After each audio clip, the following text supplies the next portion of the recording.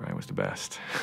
Brian was loving, caring, compassionate, funny, extremely curious and talkative.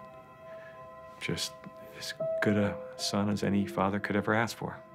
As he was entering high school, like many kids in our society, he and 10 of his friends went into the woods and tried beer for the first time.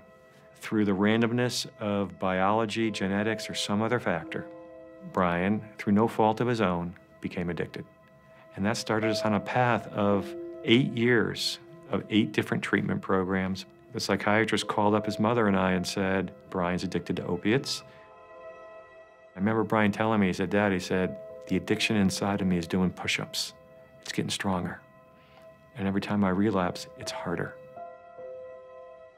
Finally, he got to his last program, and he did wonderful. The first time he ever said, Dad, can I stay in this treatment program longer? I want to stay an extra month. I'm getting so much out of it. And he was just back to his 12 year old Brian funny, laughing, happy.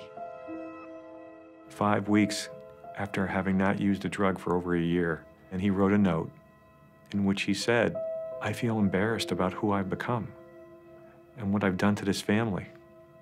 And I'm just so sorry. And then he lit a candle and he took his own life alone, feeling ashamed of what he had done to all of us. That shouldn't be.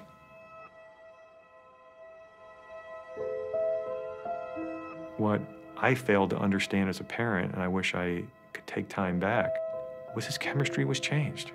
It's a disease. But unless we can understand that as a society and show empathy, just the way we show empathy with someone who has diabetes, whose body is not producing enough insulin, and if we can make that shift, more people will seek treatment, fewer people will die, and fewer families will be shattered beyond repair. My life's work now is to change this. I founded Shatterproof after Brian passed away. Shatterproof is the, the first national organization to uh, attack addiction from all perspectives prevention, intervention, treatment, and recovery. Because I am given strength every day by so many people I meet who have either also lost children who are pitching in to help us. There's almost 100,000 people all over the country now who give me strength.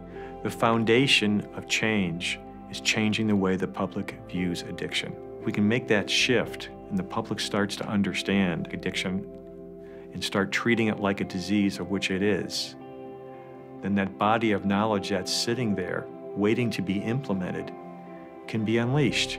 Programs that could go into schools, programs for doctors to work with their patients, medicines, recovery with respect and no shame and no stigma. That all can be unleashed uh, if the public can make the shift of viewing addiction as the change in brain chemistry of which it really is. This is about chemistry, not character.